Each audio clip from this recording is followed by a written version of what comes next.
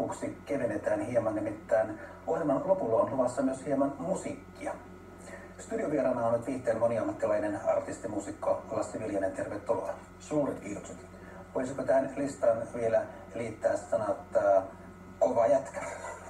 tai sitkiä sissi? No ilman muuta, ilman muuta artistiura Suomen mantereella vaatii kovaa työtä ja ehkä semmoista kovaa, kovaa jätkääkin ja ennen kaikkea sitä sitkeyttä. No miten tämä koronakriisi on vaikuttanut sinun elämäsi? No koronahan pilasi kaiken, ihan suoraan sanottuna, että, että varsinkin tälle vuodelle oli suuria suunnitelmia ja ajatuksia oli, oli viedä, viedä tota omaa uraa tosi isolla nosteella tuonne Suomen rajojen ulkopuolellekin, mutta tota, sitten tuli tämä korona, koronahomma, joka vei sitten käytännössä kaiken, mutta sillä sitkeydellä nyt täytyy sitten tehdä poikkeuksia ja hakea vähän uusia näkökulmia siihen taiteelliseen ja viihteelliseen uraan. Ja yksi mielenkiintoinen poikkeus oli tuore biisi, joka julkaistiin tässä äh, hiljattain. Ja sillä on myös mielenkiintoinen yhteys tähän korona-eristäytymiseen, koska ihmiset ovat nyt yhä enemmän kotona ja on enemmän aikaa myös olla aikaa sen lähemmän äh, sen rakkaan kanssa. Kerro tästä uudesta biisistä, päivätyökseni susta tykkää. Joo, tosiaan nyt pari viikkoa sitten julkaisin uuden kappaleen päivätöikseni Susta tykkään ja se sopii ehkä tähän korona-aikaan nyt nimenomaan siten, että monen päivätyöt on siirtynyt etätöiksi. Ja mun tuottajan Iro Greenin kanssa sit lähdettiin vähän pohtiin tätä, että saisiko tästä tehtyä mun ajatuksista tällä hetkellä semmoisen maailman hienoimman rakkauslaulu ja mun mielestä siitä tuli nimenomaan semmoinen, semmoinen ja tota, tässä on haettu semmoista näkökantaa ja näkökulmaa ehkä semmoiseen perinteiseen rakkauslauluun, että siitä rakkaudesta ja fiiliksistä ja tunteista tuleekin yhtäkkiä työ. Ja siitä on tullut, tullut nyt päivätyö tämän koronan, koronan rinnalle ja, ja tota, sillä mennään. Se on hieno, hieno biisi. Löytyy joka ikisestä striimauspalvelusta ja, ja tota, siellä on erittäin koskettava teksti. Suosittelen kuuntelemaan sen. Ja mahdollisesti löytää sieltä sitten jotain vähän ehkä omaan elämäänsä saatavia juttuja ja näkökantoja. Se on, se on hieno biisi. Et aiemmin raksahommia, miksi vaihdot ammattia? Joo, entisessä elämässä tuli tehtyä ihan oikeita töitä, töitä mutta tota, mä oon ollut pienestä pitäen semmonen esiintyjä ja ehkä viihdyttäjä.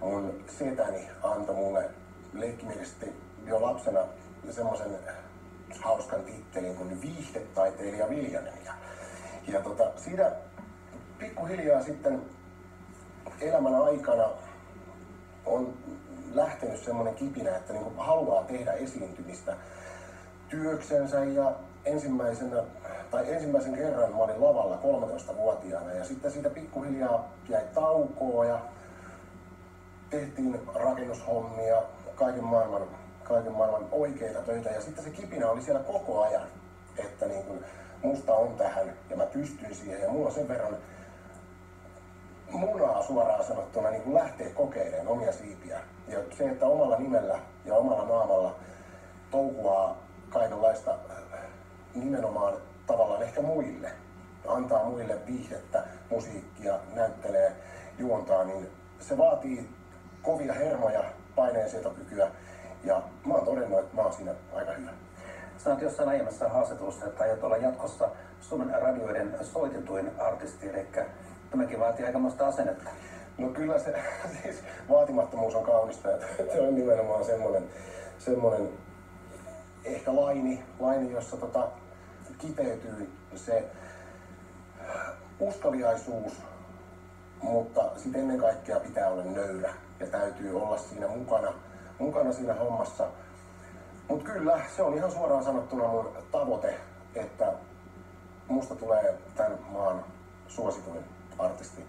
Pakolla ei tule mikään ja väkisin ei pysty tekemään mitään. Ja mulla on siinä mielessä hyvät lähtökohdat ja hyvä asema siihen, että mulla on valtava määrä ihania faneja, jotka auttaa mua sillä matkalla ja mä oon saanut paljon, paljon hyviä yhteistyökumppaneita ja kontakteja ja sitä kautta mennään kohti päämäärää. Se on mun suurin unelma ollut pienestä pojasta asti. No kuinka kova tämä kamppailu soittolistojen kärkipaikoista on Suomessa?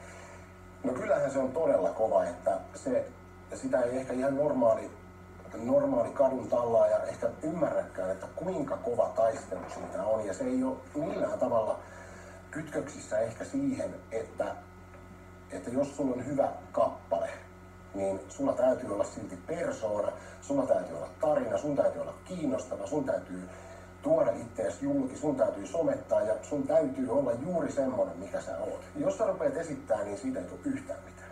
No musiikkiteollisuus tuottaa paljon kertakäyttötuotteita, biisit tulevat ja menevät, mutta miten ne helmet syntyvät? Sitä tarvitsisi kysyä Juise Leskiseltä tai Josta Sundqvistilta, mutta tota, siinä on, on tietynlainen kaava ehkä, ehkä että tota, mikä puree suomalaiseen. Ja jotkut, jotkut helmet sieltä nousee esiin. Sitä on vaikea kertoa, että minkä, minkälainen aina, aina toimii, mutta niin, se, se on ihan, riippuu, että missä asennossa planeetat on. Ja totta kai siihen täytyy saada iso promootio, iso, iso tarina, hyvä taustatiimi ja ennen kaikkea se täytyy olla hyvä paketti kokonaisuudessaan. Silloin biisit jää elämään. Kerro vielä lyhyesti, mitkä ovat sinun tulevaisuuden suunnitelmat tällä uralla? No tässä kun otettiin tämä vaatimattomuus, niin jatketaan, jatketaan sitä, mutta tosiaan, tosiaan nyt tehdään lisää musiikkia, näytellään, näytellään tosiaan nyt, jos tämä korona saadaan tästä pikkuhiljaa, pikkuhiljaa pois päiväjärjestyksestä, niin sitten pompataan tuonne isoon Amerikkaan ja sieltä haetaan sitten vähän jalantilaa, jalantilaa sinne, sinne puolelle, mutta nöyrästi ja rennosti tekemällä sitä omaa juttua, niin sillä mä pääsen pitkälle. Kiitoksia vierailusta Lasse Viljanen. Suuret kiitokset. Ja uutiskauhan päätteeksi kuullaan pieni pätkä tästä tuoresta biisistä Päivitykseni susta tykkään. Oikein hyvää viikonloppua ja näkemiin.